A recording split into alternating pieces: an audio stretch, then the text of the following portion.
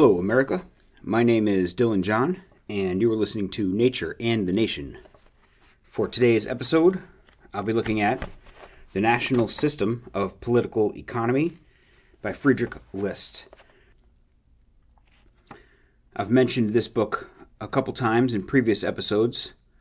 It was published in 1841 and uh, was an important contributor to uh, the ideas that went into the American system.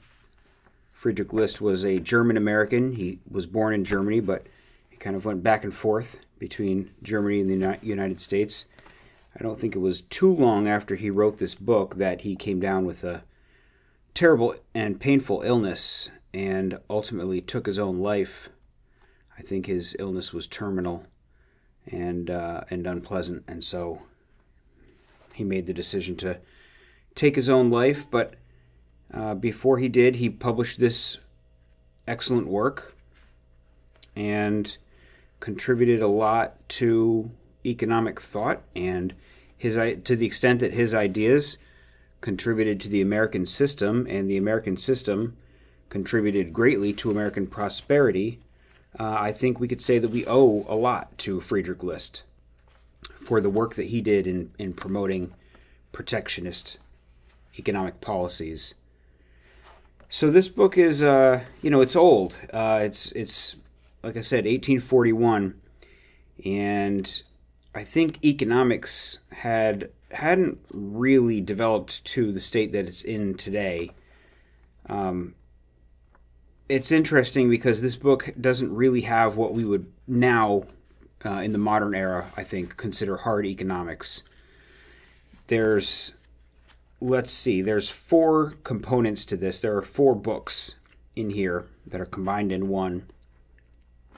The first book is called The History, the second is called The Theory, the third is called The Systems, and the fourth is called The Politics. Uh, I'm only going to read some sections from The Theory, the second book, uh, but I will read, I think I have six sections to read. And because I'm looking for, you know, the theory of protectionism. I'm looking for some explanation as to specifically why it works and how it works. Uh, I don't get that from this book as much as I would like to, uh, but I think it's just because of the era in which it was written. So there's theory, but there's not really crisp, clear theory. Um, the history section is interesting. Uh, it's all interesting, but I want to try to extract as much as I can, uh, try to extract a, a, nice coherent theory. So that's all. The, that's all that I'm going to look at is is the second book. Um, like all my episodes, I am going to read a couple of sections here, and I'll provide some commentary. Um, I'll do my best to simplify some of the things that he says so that they're uh, comprehensible to, you know, a non-economist.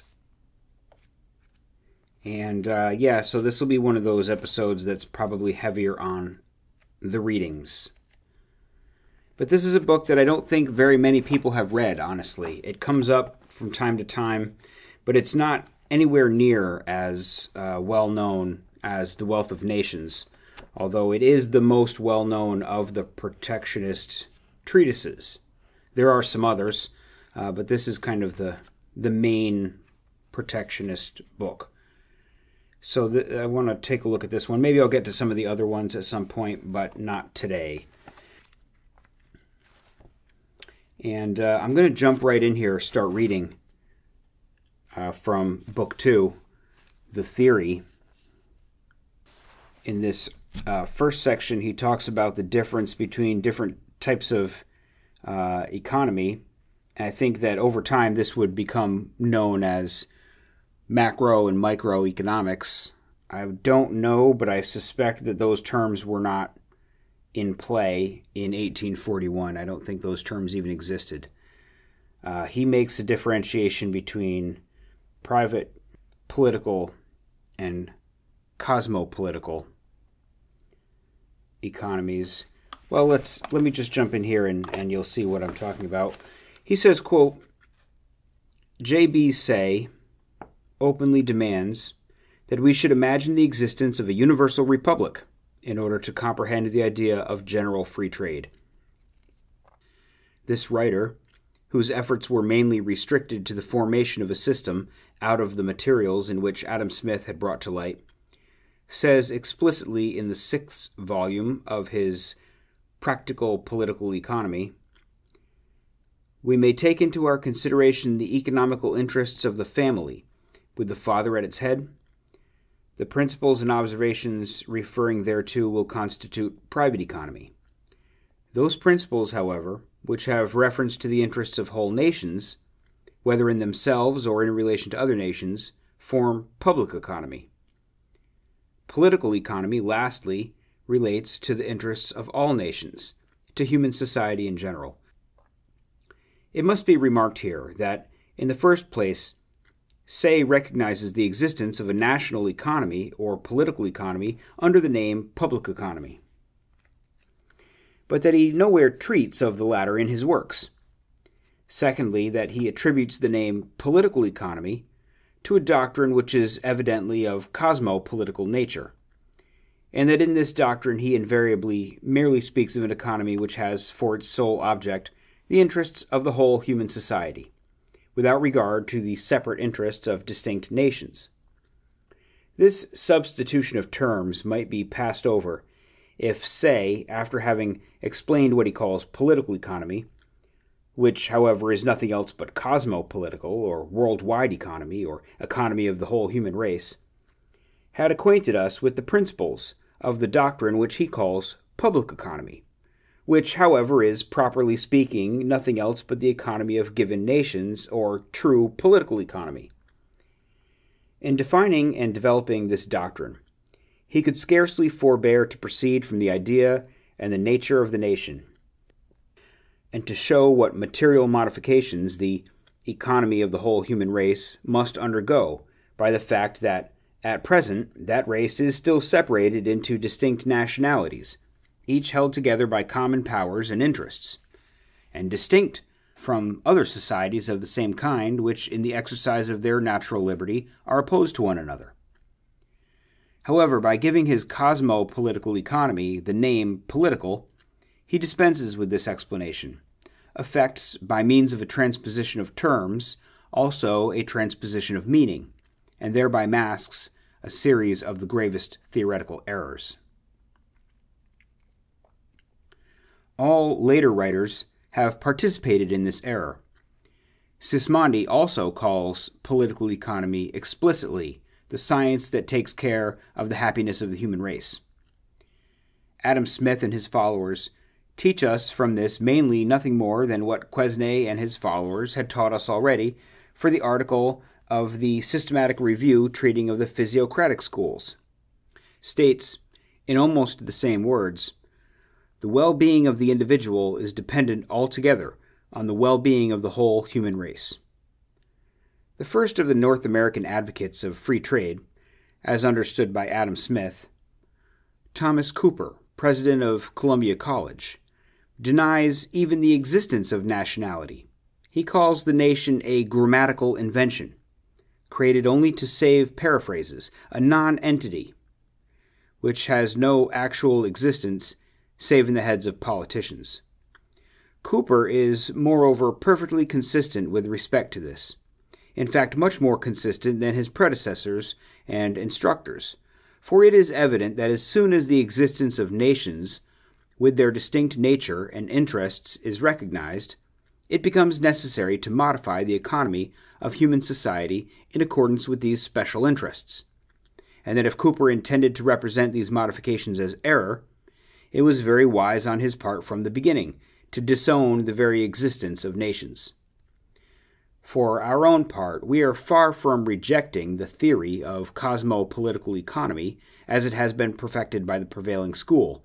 We are, however, of opinion that political economy, or as Say calls it, public economy, should also be developed scientifically, and that it is always better to call things by their proper names than to give them significations which stand opposed to the true import of words.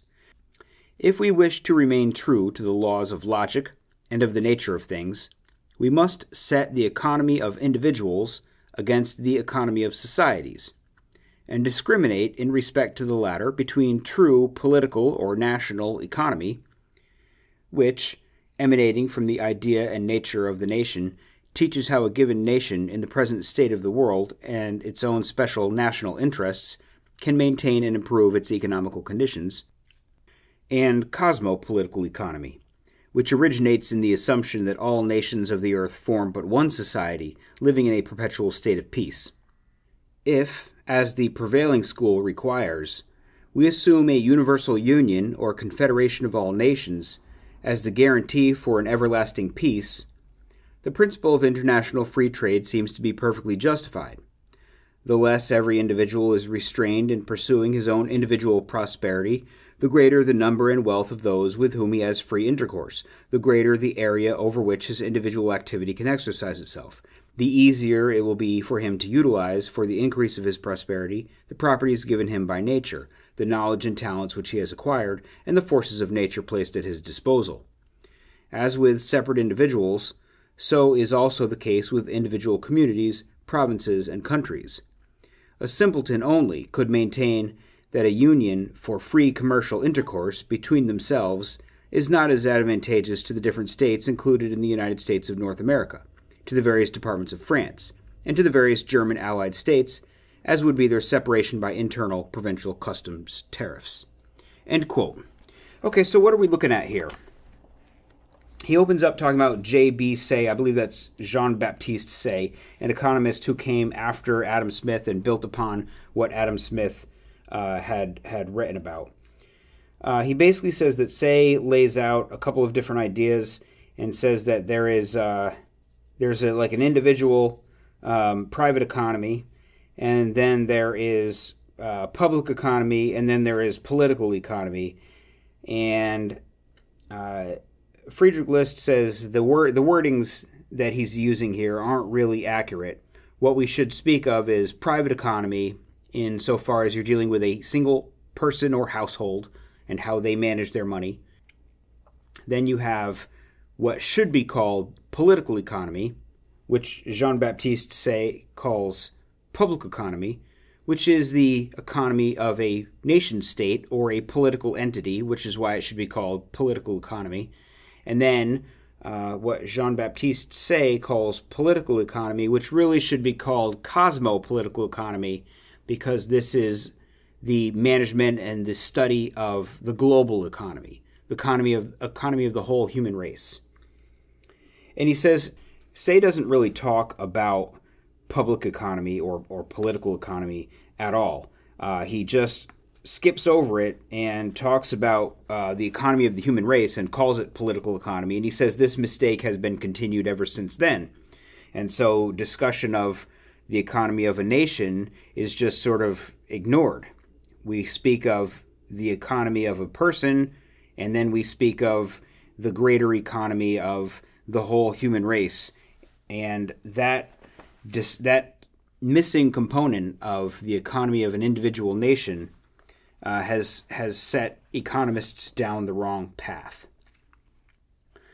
And then he talks about someone ta- called Thomas Cooper, uh, who was a, an advocate of free trade in America, who essentially takes it to its logical conclusion and says the na- the nation state is really just a what we would now call a social construct. It's just a, a notion in the heads of politicians, and it has no real uh, meaning. Uh, but Friedrich List essentially says we have to study all three of these uh, different economic positions. And in the end, there, he, he says basically, you know, he says only a simpleton could maintain that a union for free commercial intercourse between themselves is not as advantageous to the different states included in the United States uh, as would be if they had internal tariffs. So the idea is here like if you would imagine the United States and the different states that comprise it, and there were customs duties and tariffs whenever states traded with one another, um, only a simpleton could say that it's it's it would be more effective and more efficient and better for the nation to have all of these tariffs between the states. He says, as a political entity, the United States as a singular nation doesn't want to have tariffs and trade barriers set up between its internal divisions. Um, but the glo- the global economy, the economy of the human race, is not one of a singular political entity, and for that reason, it couldn't it shouldn't be understood along those same terms. So let me jump forward here to the next section um, where he begins to talk about uh, the concept of productive power, which is an important part of, uh, of his theory here. And so in this section, he says, quote, The causes of wealth are something totally different from wealth itself. A person may possess wealth, i.e., exchangeable value. If, however, he does not possess the power of producing objects of more value than he consumes, he will become poorer. A person may be poor. If he, however, possesses the power of producing a larger amount of valuable articles than he consumes, he becomes rich. The power of producing wealth is therefore infinitely more important than wealth itself.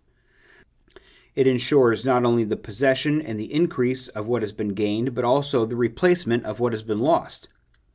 This is still more the case with entire nations who cannot live out of mere rentals than with private individuals. Germany has been devastated in every century by pestilence, by famine, or by civil or foreign wars she has nevertheless always retained a great portion of her powers of production, and has thus quickly reattained some degree of prosperity. While rich and mighty, but despot and priest ridden Spain, notwithstanding her comparative enjoyment of internal peace, has sunk deeper into poverty and misery. The same sun still shines on the Spaniards, they still possess the same amount of territory, their mines are still as rich, they are still the same people as before the discovery of America and before the introduction of the Inquisition, but that nation has gradually lost her powers of production and has therefore become poor and miserable. The War of Independence of the United States of America cost that nation hundreds of millions, but her powers of production were immeasurably strengthened by gaining independence, and it was for this reason that in the course of a few years after the peace she obtained immeasurably greater riches than she had ever possessed before. If we compare the state of France in the year 1809 with that of the year 1839, what a difference in favor of the latter. Nevertheless, France has in the interim lost her sovereignty over a large portion of the European continent. She has suffered two devastating invasions and had to pay millions of money in war contributions and indemnities. It was impossible that so clear an intellect as Adam Smith possessed could altogether ignore the difference between wealth and its causes, and the overwhelming influence of these causes on the condition of nations. In the introduction to his work, he says in clear words, in effect, labor forms the fund from which every nation derives its wealth, and the increase of wealth depends on the productive power of labor, namely on the degree of skill, dexterity, and judgment with which the labor of the nation is generally applied, and secondly, on the proportion between the number of those employed productively and the number of those who are not so employed. From this, we see how clearly Smith, in general, perceived that the condition of nations is principally dependent on the sum of their productive powers. It does not, however, appear to be the plan of nature that complete sciences should spring already perfected from the brains of individual thinkers it is evident that Smith was too exclusively possessed by the cosmopolitical idea of the physiocrats, universal freedom of trade, and by his own great discovery, the division of labor, to follow up the idea of the importance to a nation of its powers of production. However much science may be indebted to him in respect of the remaining parts of his work, the idea division of labor seemed to him his most brilliant thought. It was calculated to secure for his book a name and for himself posthumous fame. End quote. Okay, so what we see here is essentially, um, well, his opening line that the causes of wealth are totally different from wealth itself. Uh, another line that I want to draw your attention to is when he says, the power of producing wealth is infinitely more important than wealth itself. It ensures not only the possession and the increase of what has been gained, but the replacement of what has been lost. And he goes through a few countries. Um, he mentions Germany and Spain. Germany, hanging on to its productive powers, can go through civil strife and conflict and wars and always gets back on its feet because it maintains these productive powers. Whereas Spain doesn't have the productive powers. He calls it uh, he calls it priest ridden. Um, but he says that it has lost its powers of production and has become poor and miserable. And then he talks about the United States and how um, the United States' powers of production were strengthened by gaining independence, and for that reason, it has obtained immeasurably greater riches uh, than it ever possessed before. So he he he says Adam Smith sort of recognizes this in like the introduction or in the opening, yeah, the introduction to his work. He he he recognizes that that uh, labor forms the fund from which every nation derives its wealth. Now, it would seem obvious work creates wealth. Uh, but then he gets so wrapped up in the division of labor, which was his great discovery, that he doesn't put much more thought or effort into that concept. He zeroes in on the division of labor, and he he writes very intelligently about the division of labor. But uh, he says science doesn't spring forward fully complete from one man's mind. So while Adam Smith kind of put forward this idea, it was incomplete and needed to be developed further and that had not happened uh, by the time that he that he wrote this. So, um, moving forward from there, uh, he talks a little bit more about this idea of, of productive powers of a nation in this section here, where he says, "quote The prosperity of a nation is not, as Say believes, greater in the proportion in which it has amassed more wealth." i.e., values of exchange, but in the proportion in which it has developed its powers of production. Although laws and public institutions do not produce immediate values, they nevertheless produce productive powers.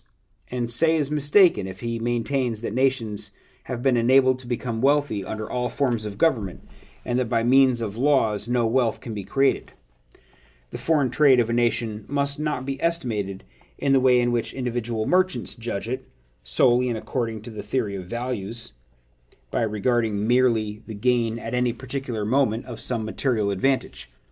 The nation is bound to keep steadily in view all these conditions on which its present and future existence, prosperity, and power depend. The nation must sacrifice and give up a measure of material prosperity in order to gain culture, skill, and powers of united production. It must sacrifice some present advantages in order to ensure to itself future ones. If, therefore, a manufacturing power, developed in all its branches, forms a fundamental condition of all higher advances in civilization, material prosperity, and political power in every nation, a fact which we think we have proved from history, if it be true, as we believe we can prove, that in the present conditions of the world, a new, unprotected manufacturing power cannot possibly be raised up under free competition with a power which has long since grown in strength and is protected on its own territory. How can anyone possibly undertake to prove, by arguments only based on the mere theory of values, that a nation ought to buy its goods like individual merchants, at places where they are to be had the cheapest? That we act foolishly if we manufacture anything at all which can be gotten cheaper from abroad? that we ought to place the industry of the nation at the mercy of the self interest of individuals, that protective duties constitute monopolies, which are granted to the individual home manufacturers at the expense of the nation. It is true that protective duties at first increased the price of manufactured goods, but it is just as true, and moreover acknowledged by the prevailing economical school, that in the course of time, by the nation being able to build up a completely developed manufacturing power of its own, those goods are produced more cheaply at home than the price at which they can be imported from foreign parts. If, therefore, a sacrifice of value is caused by protective duties, it is made good by the gain of a power of production, which not only secures to the nation an infinitely greater amount of material goods, but also industrial independence in case of war. Through industrial independence and the internal prosperity derived from it, the nation obtains the means for successfully carrying on foreign trade and for extending its mercantile marine. It increases its civilization, perfects its institutions internally, and strengthens its external power. A nation capable of developing a manufacturing power, if it makes use of the system of protection, thus acts quite in the same spirit as that landed proprietor did, who, by the sacrifice of some material wealth, allowed some of his children to learn a productive trade. So he's basically saying that the, the, the wealth of a nation is not determined by uh, the amount to which it has amassed values of exchange, in other words, money and gold, uh, but instead the, the prosperity of a nation is determined by its powers of production. He says you can't just look at a nation's foreign trade the way a merchant would judge his own foreign trade. The nation, he says, is bound to keep steadily in view the conditions on which its present and future existence, prosperity, and power depend. So the nation has to think about things more than just collecting collecting money. Um, the nation has other things to think about that are going to keep it uh, strong over the long term. He says it may be true that protective duties uh, increase the price of manufactured goods at first. Uh, that won't last because the uh, manufacturing capacity will be developed within the nation and uh, inevitably the products produced by the nation will be cheaper than importing products from afar. I'm not so sure uh, that he's correct in that, given the differences in labor costs between nations. Um, but it's certainly the case that once the once the industry, once the domestic industry begins to develop, um, the cost of buying domestic goods goes down as the as the industry becomes more capable and more experienced in producing whatever whatever goods it's creating. So let's keep moving. He starts to talk a little bit about the division of labor uh, as described by Adam Smith uh, in regards to specifically the, the example of the pin factory. And here he says, quote, the school is indebted to its renowned founder for the discovery of that natural law which it calls division of labor. But neither Adam Smith nor any of his successors have thoroughly investigated its essential nature and character, or followed it out to its most important consequences. The expression division of labor is an indefinite one, and must necessarily produce a false or indefinite idea. It is division of labor if one savage on one day and on the same day goes hunting or fishing, cuts down wood, and repairs his wigwam, and prepares arrows, nets, and clothes. But it is also division of labor, as Adam Smith mentions as example. Ten different persons share in the different occupations connected with the manufacture of a pin. The former is an objective, and the latter is a subjective division of labor. The former hinders, the latter furthers production. The essential difference between both is that in the former instance, one person divides his work so as to produce various objects, while in the latter, several persons share in the production of a single object. Both operations, on the other hand, may be called, with an equal correctness, a union of labor. The savage unites various tasks in his person, while in the case of the pin manufacture, various persons are united in one work of production in common. The essential character of the natural law from which the popular school explains such important phenomena in social economy is evidently not merely a division of labor, but a division of different commercial operations between several individuals, and at the same time a confederation or union of various energies, intelligences, and powers on behalf of a common production. The cause of the productiveness of these operations is not merely that division but essentially this union. Adam Smith well perceives this himself when he states the necessaries of life of the lowest members of society are a product of joint labor and the cooperation of a number of individuals. What a pity that he did not follow out this idea which he so clearly expresses of united labor. If we continue to consider the example of the pin manufacturer, adduced by Adam Smith in illustration of the advantages of the division of labor, and seek for the causes of the phenomena that 10 persons united in that manufacture can produce an infinitely larger number of pins than if everyone carried on the entire pin manufacture separately, we find that the division of commercial operations, without combination of the productive powers towards one common object, could but little further this production. In order to create such a result, the different individuals must cooperate, bodily as well as mentally, and work together. The one who makes the heads of the pins must be certain of the cooperation of the one who makes the points, if he does not want to run the risk of producing pinheads in vain. The labor operations of all must be in proper proportion to one another, and the workmen must live as near to one another as possible, and their cooperation must be ensured. Let us suppose, for example, that every one of these ten workmen lives in a different country. How often might their cooperation be interrupted by wars, interruptions of transport, commercial crises, etc.? How greatly would the cost of the product be increased, and consequently the advantage of the division of operation diminished? And would not the separation or secession of a single person from the Union throw all the others out of work? The popular school, because it has regarded the division of operation alone as the essence of this natural law, has committed the error of applying it merely to the separate manufactory or farm. It has not perceived that the same law extends its action especially over the whole manufacturing and agricultural power, over the whole economy of the nation. As the pin manufactory only prospers by the confederation of the productive force of the individuals, so does every kind of manufacture prosper only by the confederation of its productive forces with those of other kinds of manufacture. For the success of a machine manufactory, for instance, it is necessary that the mines and metalworks should furnish it with the necessary materials, and that all the hundred different sorts of manufactories which require machines should buy their products from it. Without machine manufactories, a nation would, in time of war, be exposed to the danger of losing the greater portion of its manufacturing power. In like manner, the entire manufacturing industry of a state, in connection with its agricultural interests, and the latter in connection with the former, will prosper the more the nearer they are placed to one another, and the less they are interrupted in their mutual exchanges with one another.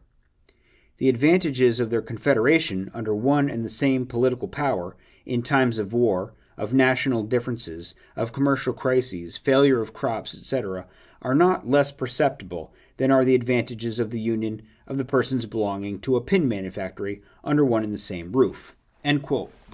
So I think this is an interesting section here because he says, so imagine you have a pin factory like Adam Smith talks about, and on the one hand, you know, you might have 10 people and each one of them is making pins on their own the whole process. They make the pin head, they measure the length of the pin, they sharpen the pin, and whatever other processes are involved in making pins, maybe packaging the pins, what have you.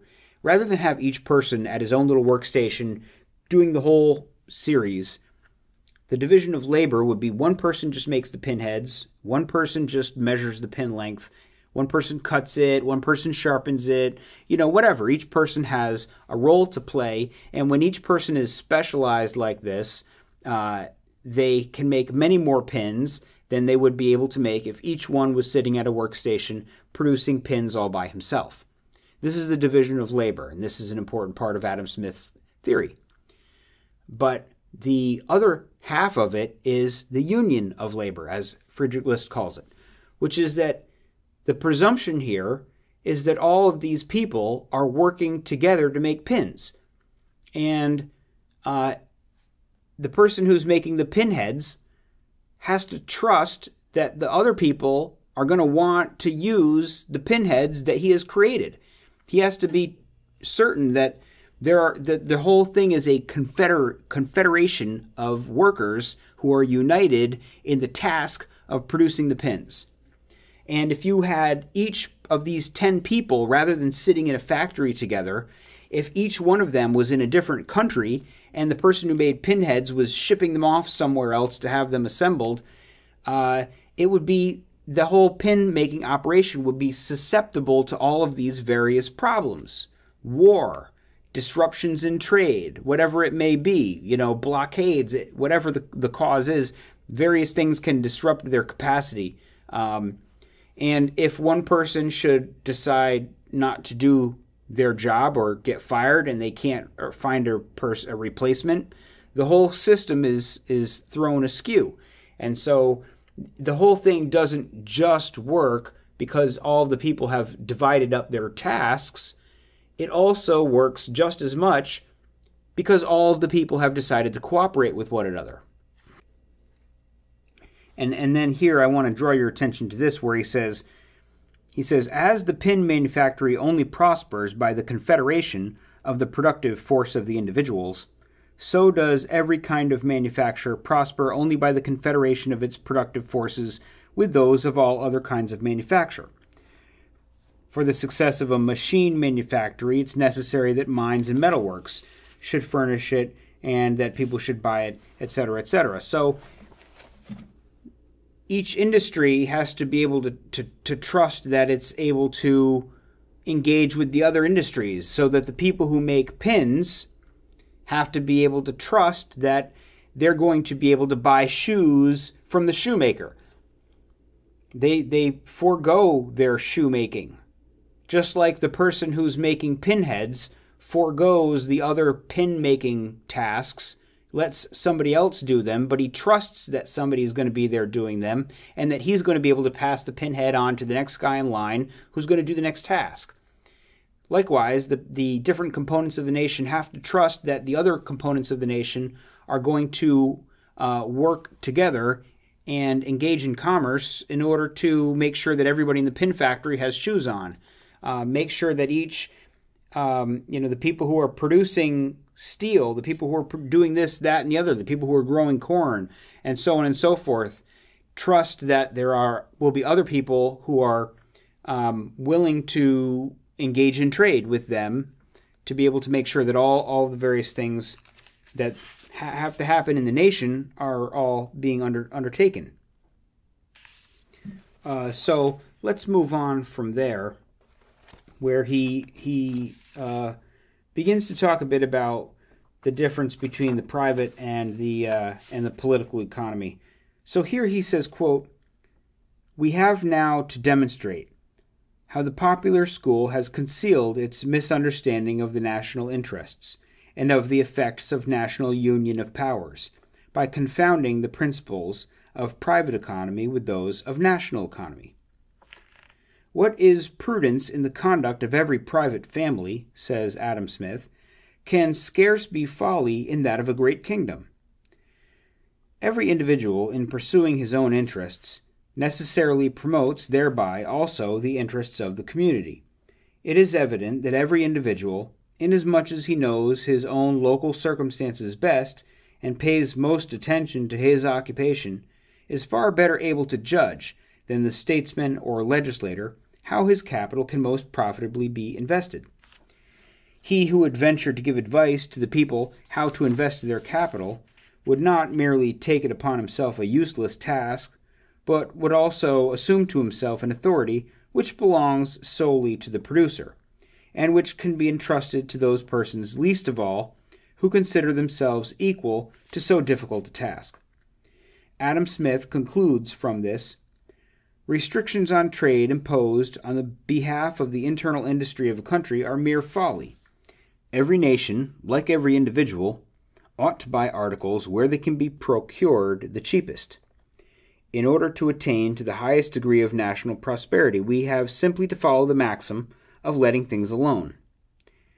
Smith and Say compare a nation which seeks to promote its industry by protective duties to a tailor who wants to make his own boots and to a bootmaker who would impose a toll on those who enter his door in order to promote his prosperity. As in all errors of the popular school, so also in this one does Thomas Cooper go to extremes in his book, which is directed against the American system of protection. Political economy, he alleges, is almost synonymous with the private economy of all individuals. Politics are no essential ingredient of political economy it is folly to suppose that the community is something quite different from the individuals of which it is composed. Every individual knows best how to invest his labor and his capital. The wealth of the community is nothing else than the aggregate of the wealth of all its individual members. And if every individual can provide best for himself, that nation must be the richest in which every individual is most left to himself. The adherents of the American system of protection had opposed themselves to this argument, which had formerly been adduced by importing merchants in favor of free trade. The American navigation laws had greatly increased the carrying trade, the foreign commerce, and fisheries of the United States. And for the mere protection of their mercantile marine, millions had been annually expended on their fleet. According to his theory, those laws and this expense would be as reprehensible as protective duties. In any case, exclaims Mr. Cooper, no commerce by sea is worth a naval war. The merchants may be left to protect themselves. Thus, the popular school, which had begun by ignoring the principles of nationality and national interests, finally come to the point of altogether denying their existence, and of leaving individuals to defend themselves as they may solely by their own individual powers. How is the wisdom of private economy also wisdom in national economy? Is it in the nature of individuals to take into consideration the want of future centuries, as those concern the nature of the nation and the state? Let us consider only the first beginning of an American town. Every individual left to himself would care merely for his own wants, or at the most those of his nearest successors whereas all individuals united in one community provide for the convenience and the wants of the most distant generations. They subject the present generation, for this objective, to privations and sacrifices, which no reasonable person could expect from individuals. Can the individual further take into consideration in promoting his private economy the defense of the country, public security, and the thousand other objects which can only be attained by the aid of the community? Does not the state require individuals to limit their private liberty according to what those objects require? Does it not even require that they should sacrifice for these some part of their earnings, of their mental and bodily labor, nay, even their own life? We must first root out, as Cooper does, the very ideas of state and nation before this opinion can be entertained. No, that may be wisdom in national economy, which would be folly in private economy, and vice versa. And owing to this very simple reason that a tailor is no nation and a nation no tailor, that one family is something very different from a community of millions of families, that one house is something very different from a large national territory, nor does the individual, merely by understanding his own interests best and by striving to further them, if left to his own devices, always further the interests of the community. So he's really attacking the idea here that a, an individual person um, doing what's best for themselves is always and automatically going to result through the invisible hand in that which is best for the community. Now, it may be that what results is the most efficient thing, the most efficient way of producing things, or the most efficient way of generating wealth. But each individual, in pursuit of their own self interest, isn't necessarily going to look forward multi- multiple generations into the future eh, or, or even just consider what is best for the nation. It's it's sort of a like a belief in magic to think that all people ad, acting in their own interests, in their own self interests, is all the time going to create what is also magically in the best interest, interests of the nation. Um, that's that's not entirely true. Now, the invisible hand may set prices to achieve an equilibrium. And I think that's really where the invisible hand can be can be trusted that it will push prices up or down. It will increase supply or demand. It will decrease supply or demand according to the prices. There will be a, a, a fluctuating a fluctuation of activity in order to make sure that needs get met. If a need goes unmet, then oh, there might be profit in that. People would pay to have that need met. And so things get done through this self-interest. And you know, as Adam Smith says, it's not the it's not the uh, benevolence of the baker that causes him to get up every morning and bake bread. It's not because he wants to make sure that everybody has bread to eat. He gets up in the morning and bakes bread because he needs to make money. And so his self interest is why he bakes the bread. And it just happens to be the case that other people are able to get bread because he's put it on himself to make that bread. But it's his self interest that drives him to do it. This idea of the invisible hand is worth something, but it's not a silver bullet that says everybody acting in their own interests is always and at all times going to create the situation that is the most ideal for the nation. That's that's taking it too far. And so he says, you know, a tailor is not a nation. Uh, a house is not a territory.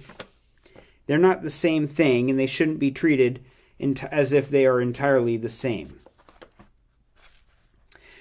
Uh, so let me just keep moving on here a little bit. I've got one last section that I want to read when he talks a little bit about nations, nationhood. He says, quote, The system of the school suffers, as we have already shown, from three main defects. Firstly, from boundless cosmopolitanism, which neither recognizes the principle of nationality nor takes into consideration the satisfaction of its interests.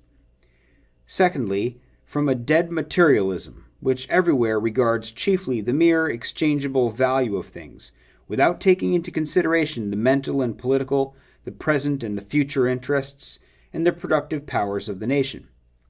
Thirdly, from a disorganizing particularism and individualism, which, ignoring the nature and character of social labor and the operation of the union of powers in their higher consequences, considers private industry only as it would develop itself under a state of free interchange with society, i.e., with the whole human race, were that race not divided into separate national societies.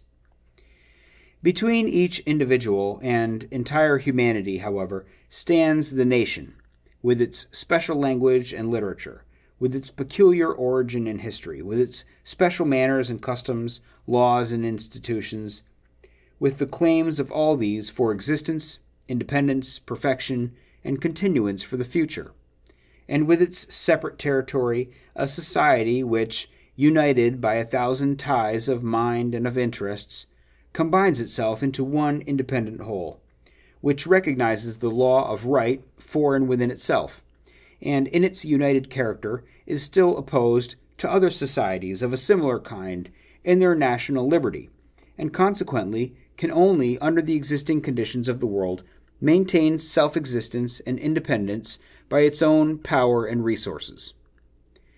As the individual chiefly obtains, by means of the nation and in the nation, mental culture, power of production, security, and prosperity, so is the civilization of the human race only conceivable and possible by means of the civilization and development of the individual nations.